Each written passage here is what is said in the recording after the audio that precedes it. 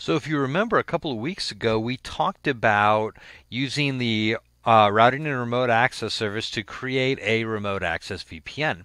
And one of the things we talked about is that in Active Directory, we need to give permission for users to be able to access that VPN.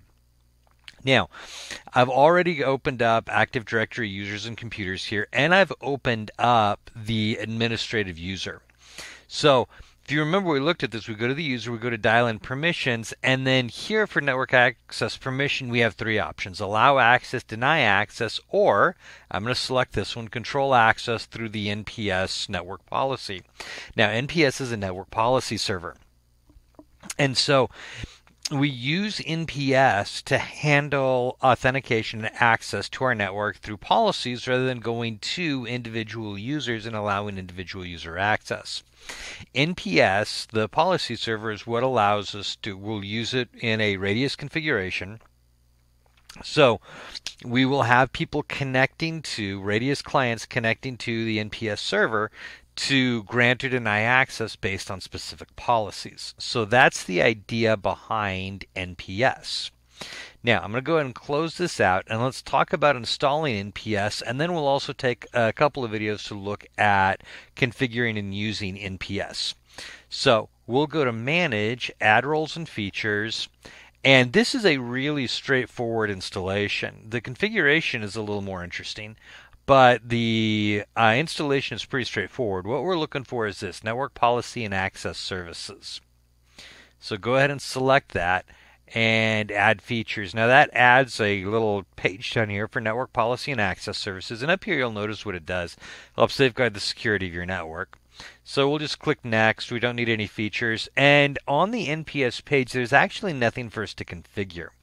It tells us that we're going to have to do some configuration a little bit later on. So you can deploy NPS as a remote authentication dial in user service or radius server and proxy. We'll talk about what that is in a minute. After installing NPS, you can configure NPS from the NPAS homepage. Okay, fine. Let's go ahead and click next and install, and that will start our installation. Now, this was really straightforward. the configuration is going to be a little more interesting. But even that's not too bad. But there's a couple of terms we need to get in mind first, and that is the way Radius works with NPS. So we'll have the Radius client, the Radius server, and then an access client. Now, the Radius server is the server that is going to handle authentication requests. And we can also have a Radius proxy in there. So the Radius server handles authentication requests.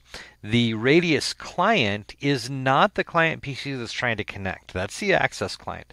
The Radius client is the NAS or network access server that they're trying to connect to.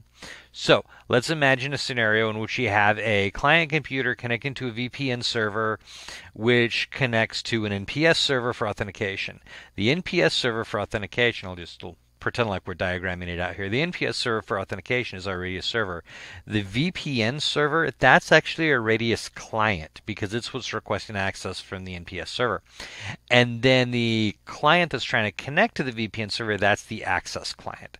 So that's our terminology. Let's introduce one more thing here, and that is a Radius proxy. So sometimes if you have a whole bunch of Radius requests and it's too much for the Radius server to handle, what we do is we create a Radius proxy. And so in that case, the access client would connect to the access server. In our little scenario, it's VPN, although it can be other things. It can be wireless or Ethernet using uh, 802.1x. It can be a variety of different things which then would connect to a radius proxy.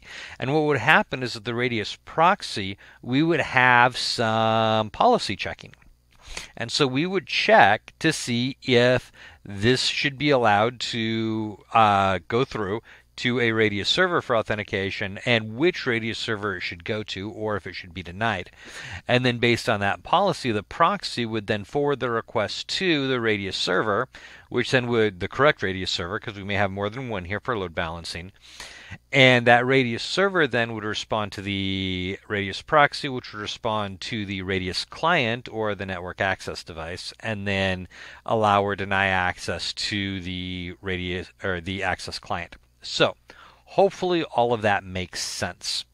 Now I'm going to go ahead and close this. We're going to go to our tools and we're going to look at our network policy server management console. Now, we're not going to go too deep into this. I want to do this in another video, but I do want to give you an idea a little bit of how we're set up. So, we have Radius clients and servers, so we can set up Radius uh, clients. And remember, that's going to be like our VPN servers or remote gateway servers or whatever is going to manage uh, the clients are going to be connecting to. And then we can cons- uh, configure remote radius groups, and that will allow us to set this device up as a proxy, where we can notice right here forward connection requests um, to other servers when we're using this as a radius proxy. Policies are where we actually set our policies. We're going to look at all of this stuff in a couple of subsequent videos here. And accounting is where we configure how we're going to log all of this information. So that gives you a real quick overview of the layout of how to install NPS, what it does, and the layout of the NPS console. Now, we're going to tackle configuration in a couple of subsequent videos so that this one doesn't end up going too long. So, this gives us our installation and our overview. We will dive into our configuration in our next video.